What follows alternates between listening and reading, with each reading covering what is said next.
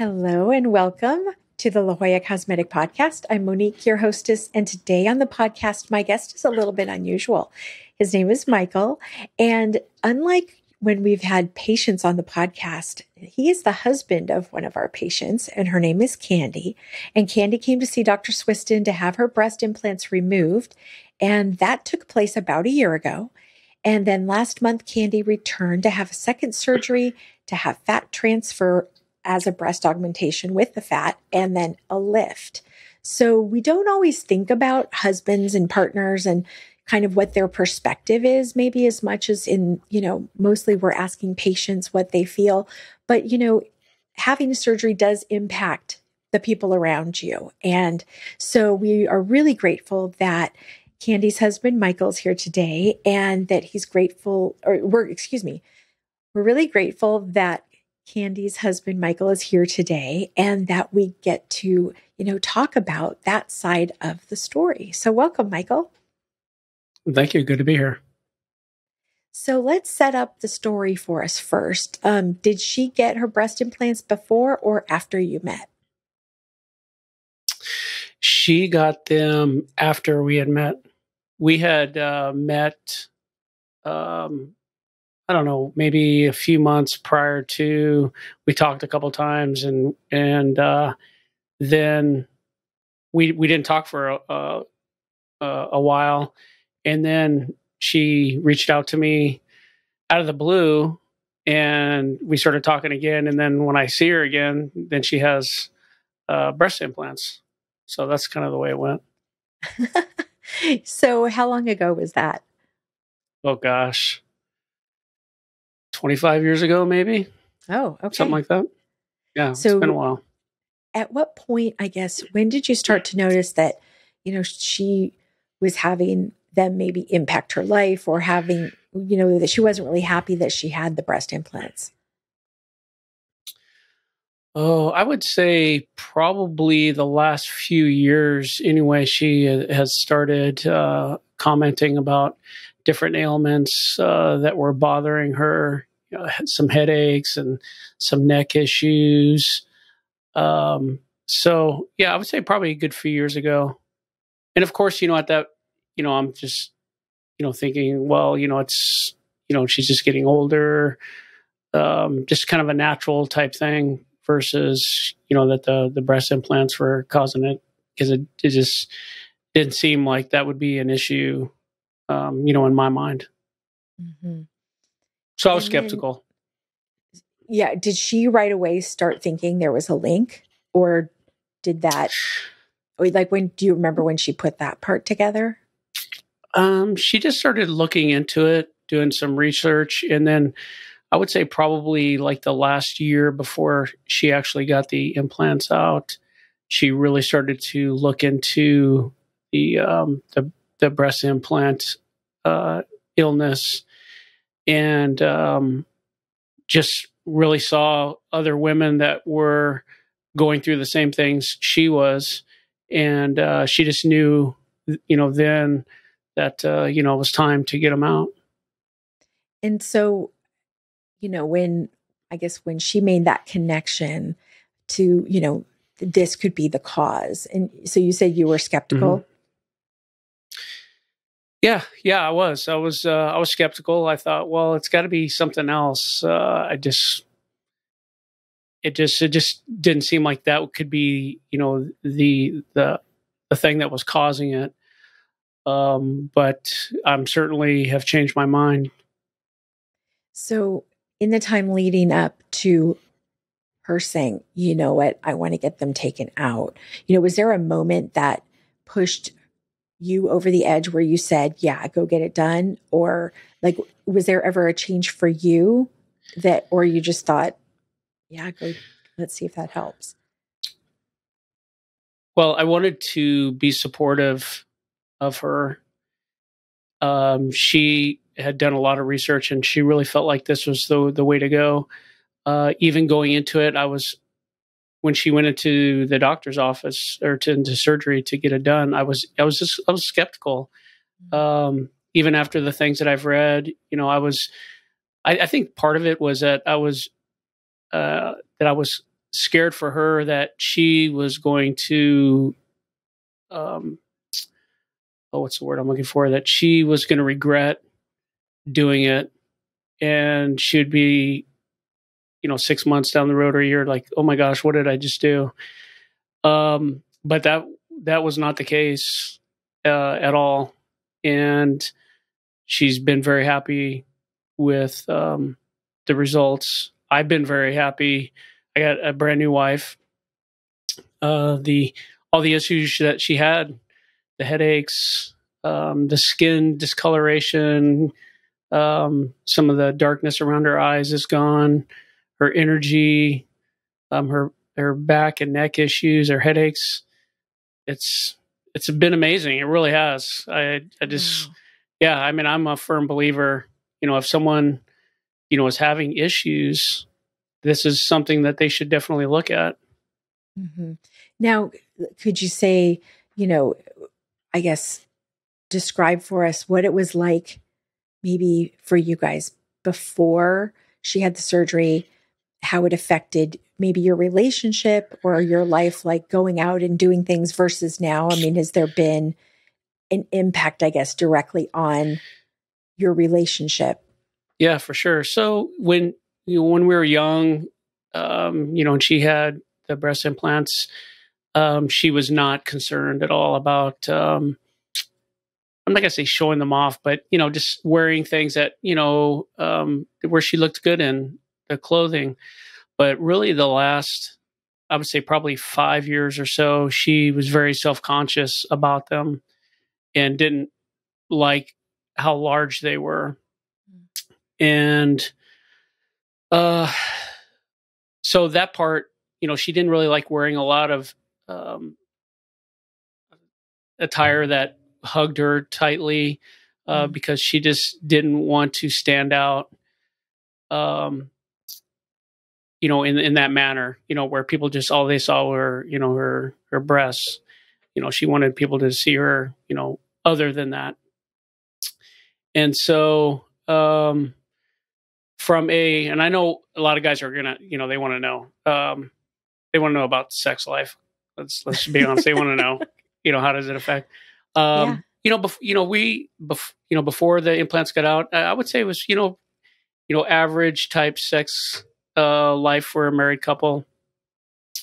Um, post surgery, um, she has been uh, feeling so, so much better energy wise and uh, wearing clothes that really um, are flattering to her and clothing that she was so afraid to wear before and and she just feels very confident about wearing uh, these types uh, of clothing where she didn't before. And then um, her libido is like friggin' off the chart. So, guys, well, that's good. that is a concern, yeah, I mean that's a that's a nice problem to have, right? Um, yeah, you know, for well, for it makes husband. sense, I guess. I guess it makes sense if you're not feeling well you know, that yeah, makes your energy sick, you low. Know. And yeah. then if you're not feeling super confident either or feeling yeah. maybe some, you know, awareness that you're self aware that, you know, she's feeling like they were too big. Because I think, you know, we all go through different times in our life where we have different goals, you know, and when you're in your 20s, mm-hmm. you, you, you want to have a different look than maybe when you're in your 40s. And I don't know her age, but um, you know those things change and that's and that's okay but certainly you know her it sounds like she's really like coming into herself with and and embracing maybe this new look that she has and maybe the yeah. newfound energy no, too. without a doubt. Yeah it's uh it's just energy you know i'm not just talking about you know libido wise but just energy for life in general. It's just she wants to go out and do things um and it's just it you can feel it in in the house it's mm-hmm. it's been amazing and you know I, i've i've told her many times i wish she would have done it years ago now when you said that she was doing some research on her own and you know mm-hmm. once she came close to? I mean, was she? Were you doing that research with her, or did she kind of just bring it to you? And and you know, what was your role, I guess, in that process? Yeah, she would she would bring me the research. Uh, I I did uh, a surface level research, but nothing like she did. She went down some serious rabbit holes uh, regarding the the breast implant illness, and she would bring me things and and and examples of other women having the same type of issues. Uh, she was she joined a couple groups on Facebook, and that's actually how she ended up finding Dr. Swistun. Was somebody was talking about um, the amazing job that he had done, and and she had looked at other doctors as well and did research. And you know we're we're fully prepared to go outside the state if we had to, but uh, you know thankfully we we found him great reputation uh, within the community, and so um, when we came in and talked to him, it was like a done deal because we could see that he gave a crap about us and her, right. and was um, believed in her her um, in the illness, and mm-hmm. uh, so we've been thoroughly impressed post surgeries, texting, talking on the phone, whenever he's he's been uh, at our disposal, and so it's just been a wonderful experience. Well, that's so good to hear. And I think, you know, my own personal experience with him as a surgeon, and he hasn't done surgery on me, but working with him, you know, he is so very dialed in to every patient and knowing who they are, everything about them, and he genuinely cares. And and you just there's a connection that you can't fake that, I think. Um, mm-hmm. so and I think especially when it's something that maybe almost goes against the norm. The norm is everybody gets implants put in, nobody talks about getting them out. Mm-hmm. And so, and when you're, you know, man or woman, whether you're feeling like something's not right, you want to be heard. And, you know, you don't want to be kind of dismissed like, oh, that's not a thing. It's crazy, mm-hmm. go away. That's like the worst thing. And I think having a surgeon who will genuinely listen and care and say, yeah, this this really could be something that is affecting you. Um, I think that's such an important part because it, it is you do feel like you're swimming upstream. Everybody's going this way and you're going that way, and why? Am I am mm-hmm. I crazy? Am I crazy to think that? Um, so once she was ready, okay, so she had her consultation with Dr. Swistun. And were you there for the consult? Yes, yes, I was. And you know, the other thing I had to I had to look past that he was uh he was in the Navy. You know, I, I didn't hold him against hold that Are against him Marine? at all. I'm a yeah, I'm a retired Marine officer. So that that part, uh, you know, I had to look past, but uh, I got over it quick. yeah, I've but yes, that, was part of the process. Uh, uh, well, that's good. I think that's important. I think having support, no matter what surgery or what you know big life event, it's nice mm-hmm. to have you know the support of your partner there. Um, so, what was your first impression when you met him, other than the fact that he was in the Navy and not a Marine? Uh, just just like I said, uh, I just I could tell right away that he cared um, about us, not you know not just my wife, but us as a couple, and uh, thoroughly explained everything and and was at our disposal when we had questions. We had his phone number and my wife could text or call at, at any time, literally. And uh, in fact, I think uh, the night that she had her surgery, I actually was talking to him on the phone at like 10 o'clock at night. Um, and he called me. So um, I, I, thought I was just very impressed with him uh, throughout the process, still very impressed with him. And uh, I just could not recommend him um, enough. Now, did you have certain things that you were worried about go ha- her going into that surgery and and maybe you know did she have things that she was worried about and were they the same or different? Uh yeah i would say they were different. Uh again my my concerns going in is uh in you know i was skeptical up until you know the last moment even after you know speaking with dr swistun and i was just I th- and i think maybe more fearful than skeptical that that she was going to um, regret this decision. uh, that was that was really my biggest fear, and that she was just it was gonna just kill her mentally. And um, but again, afterwards, um, you know, we're just, just what, what a great uh, uh, surprise, I guess, for lack of a better way of putting it. Uh, just pleasantly surprised uh, of how everything's happened afterwards. Uh, for her, I, she was she had some apprehension going in. Uh, I think I think anybody getting that type of surgery, uh, even though she wanted to get it, is going to have that uh, type of apprehension. Um, you know, there's you know some tears. Uh, um, just wondering, you know, if she's doing you know the right thing, and um, you know, and and I just you know try to reassure her that uh, you know in your heart this is what you know you want to do, and and uh, so she just you know we went for it and everything's been great. I would not uh there's there's been it's just it's been great. It, it really has and and uh, i recommend any woman that's having this uh, type of issue to you know do your research um but uh there's really has been no downside to this at all from a from her individual standpoint or, or from a couple standpoint. It's just it's been a great year uh, since the surgery.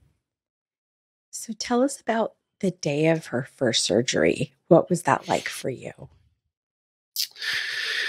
Wow, it was um, it was a lot of work to you know take care of her. Um, you know, she had the drains that we had to, to drain every few hours. Um, she's in pain, of course.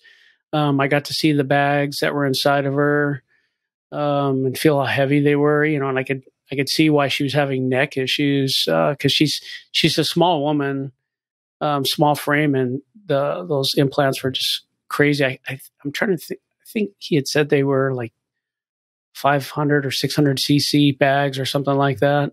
Oh, that's and yeah, yeah, yeah, and there, yeah, and so I could just see why something like that pulling on this part of your body would affect your neck, and and so you know I felt, and as and here's the other thing is that as she started getting better, and I saw all those symptoms going away, I, kind of felt like crap because you know I was so oh. skeptical. You know, I felt bad. You know that I was like, oh, you know you know, it's just this or that.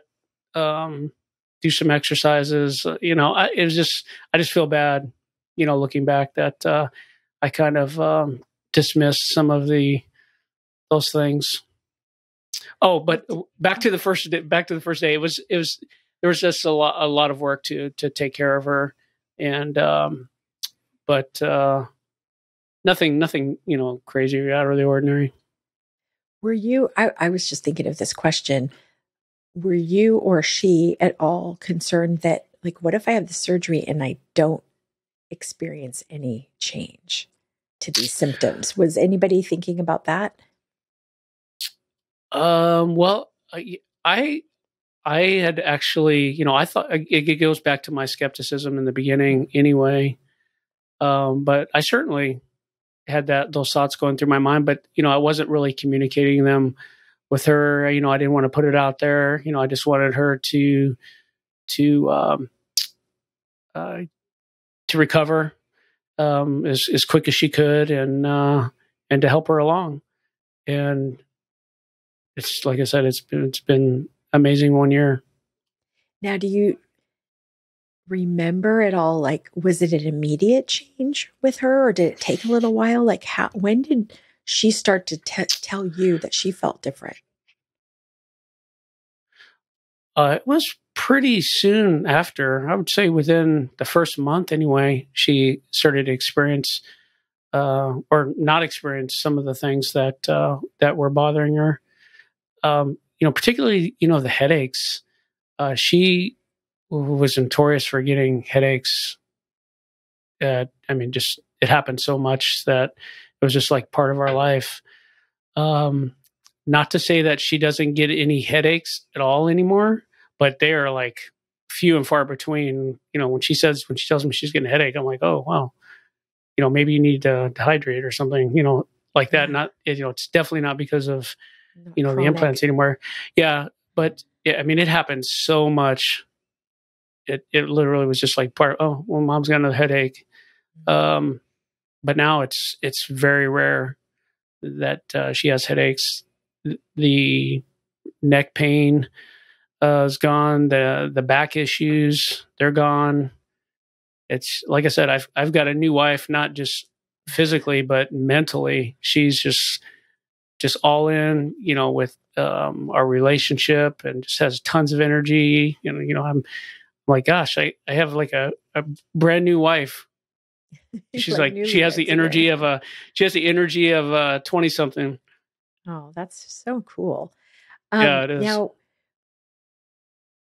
since uh, I alluded at the beginning to the fact that she had her surgery really in two parts. So she had mm-hmm. her explantation last year in mm-hmm. February, mm-hmm. and now we're in March of 23. And she just recently had the breast lift and an augmentation with fat. So tell me, mm-hmm. you know, what was the thought process of splitting that all up? Did Dr. Swistun really dictate that? Did, is that something that she wanted to do? What was kind of the thought process behind that?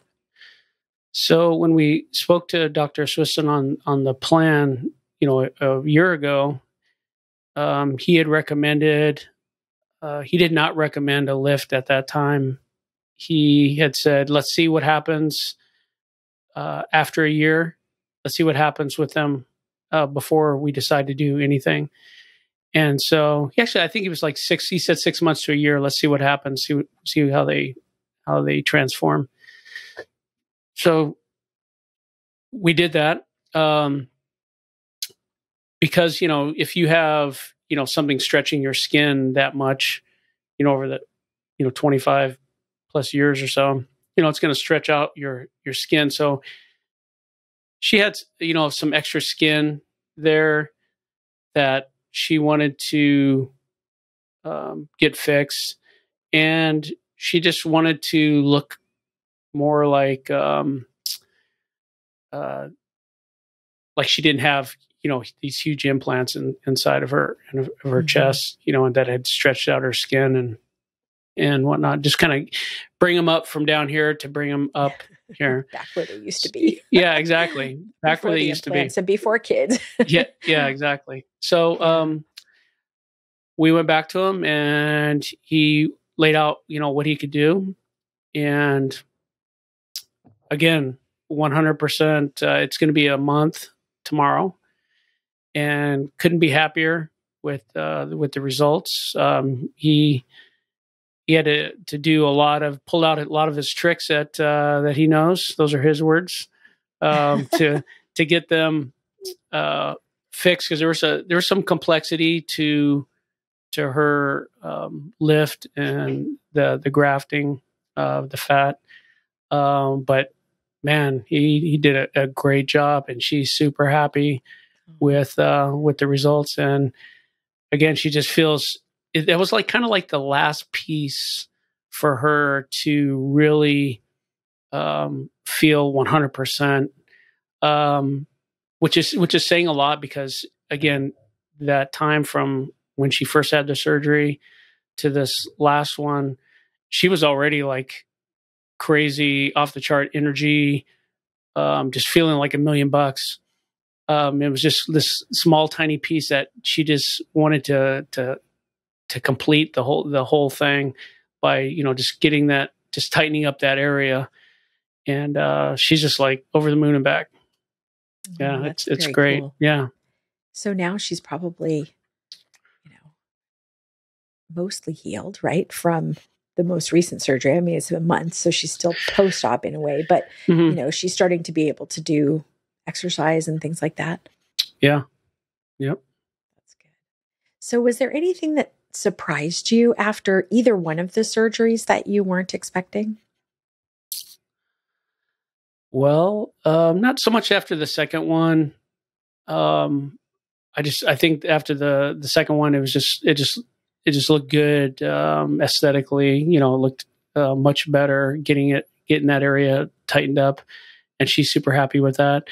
Um, my after the first surgery, you know, I can't emphasize enough how surprised and happy um, I was that her symptoms were gone, and she was just a a new woman. And it's really hard for me to to underemphasize that or overemphasize that um, because it has been just completely night night and day.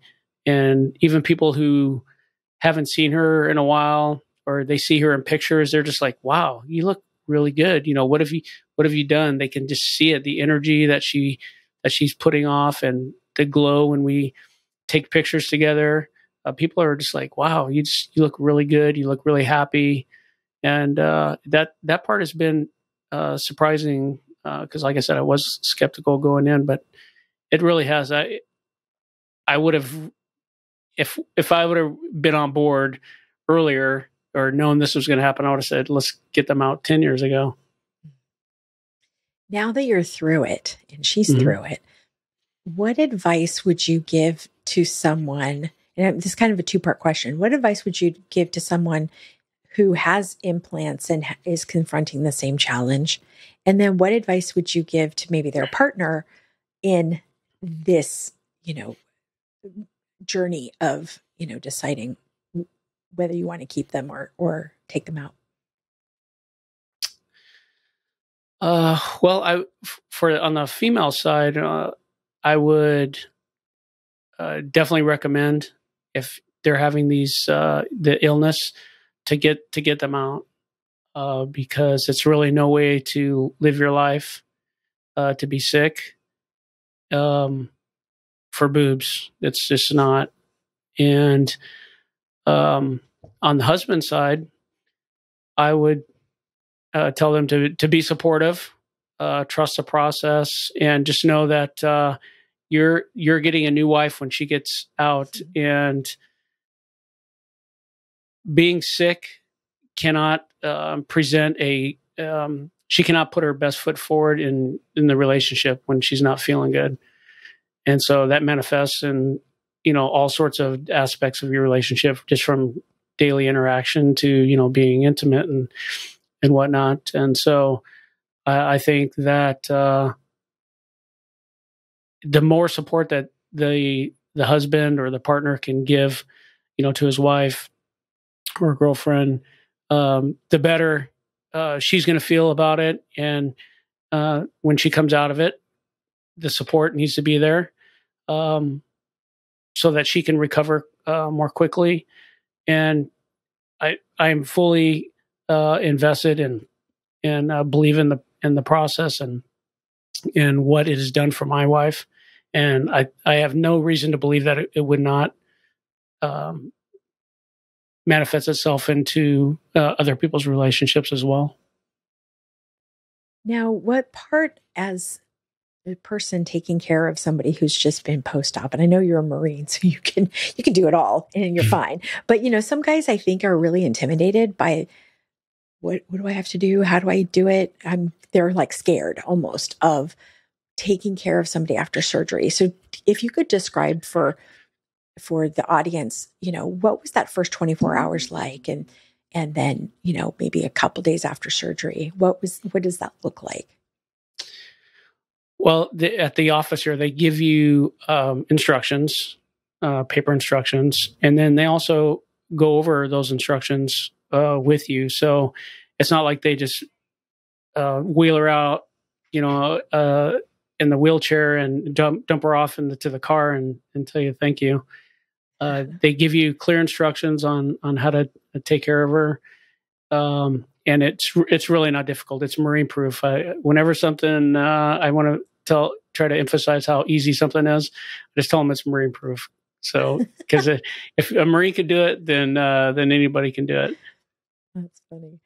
Um, so that oh that's good because I I have actually been I was filming a surgery one time and I remember the spouse of the person coming in and they just were so overwhelmed and I'm like it's going to be easy it's all right here it's in yeah. the book you know but they yep. were just almost overwhelmed because they've got the emotional part of seeing their spouse or their girlfriend or boyfriend, mm-hmm. you know, po- like in a gown and hooked up to things. And, you know, so sometimes people get a little weirded out by that whole thing and they're like, what do I do? And so um, it's yeah, nice it's, to know. It's, it wasn't, yeah, it wasn't difficult at all. You, know, you, just keep track of their medication, and you, you know, we I just had a little list of uh, a little piece of paper with the times that I gave her gave her medicine, and and really within probably a week or so, you know, she's almost taking care of herself at, at that point. Um, I mean, you still got to help her out with some things, but uh, you know, just real simple things. You know, she's pretty much taking care of herself, but it's it's well worth it. It's not like uh, it's uh, this daunting task that uh, uh somebody can't uh, complete, and the award at the the reward at the end is again having just an, an amazing, healthy and happy wife, and you know what they say, you know, happy wife equals happy life. Yeah, exactly. And now you've done it twice, so now you're a pro, and yeah. you could, you know, write the book on supporting your spouse through surgery. Um, yep. So, uh, thank you so much for you know really being open and and I heard this was actually your idea that you wanted to talk about you know what it's like from a spouse's point of view and and um, just share and i really appreciate that transparency to share for other husbands out there or partners who you know don't you don't know what to say sometimes if you've got somebody saying this is making me sick and you're like i don't know. Is it? You know you're, you're where you, yeah. you, don't know where to weigh in on the topic. It's not you feeling it. And so um you know just your honesty about you know being with her throughout this process before during and after i think is so so helpful for other people who might be looking at this surgery and it's becoming much more popular surgery just because I think one is maybe lifestyle, you know, you change over time and what you wanted at 23, like I said earlier, might be different than when you're in your 40s or 50s. Um, mm-hmm. But also, you know, for the percentage of people, you know, doctors, we do have some um, podcasts that he has done, and we'll put him in the show notes, you know, where he talks about breast implant illness and, you know, how many patients has has he helped and how many patients i think he said he can count on one hand the ones who didn't feel different so for hundreds and hundreds of women they felt better mm-hmm. and if there's only a few that didn't then there's got to be some link even if it hasn't been scientifically proven it matters you know it matters for that patient and their family and um so you know that's i love that you've brought us into that fold of what what how it's impacted your life in a positive way. So thank you. Yeah, no worries. Uh, you know, I just felt like uh, I felt like I was pretty much the the average guy going into um, something like this. You know, where their uh, wife had um, these this breast augmentation that uh, um, she looked good um, with them and you know the fear that you know I think a lot of guys would have is uh, oh my gosh you know those boobs are going to go away and you know I'm not going to be attracted to her and, or whatever and I just felt it was really important to let other men know that hey just forget about that. It's gonna you're gonna it's gonna be fine. Um because my wife literally went from a double D down to like a uh, like a B, a B basically. Mm-hmm. And so, you know, just I, I just wanted them to to know that hey, everything's going to be okay, and the the woman that you get at the end after the surgeries is like infinitely better than the one that was miserable with the boobs, and it's it uh, it the house is so much nicer when um, she's not sick and not feeling like crap all the time and having headaches and neck issues. And so just not to be not to be afraid of it uh, to for her to you know to get the the explants and that uh, everything's going to be okay. Because i was i was afraid too. And i'm just like i just wish i had done it or we had done it uh, several years before well now you have many more years of your frisky wife yeah, yeah. looking good feeling good i mean that's that's yeah. exciting that's really exciting and um I really appreciate, like I said, that you coming on and telling everyone your story. And I think we're going to be um, sharing. Uh, I think Gretchel's doing some filming with her, and so we'll have some links in the show notes with her before and afters and kind of see her transformation. So um, I, I thank you so much again. And I hope her healing continues as she's, you know, now getting to enjoy her new lifted, perky, B sized breasts. yep. All right. Well, thank you. Thank you.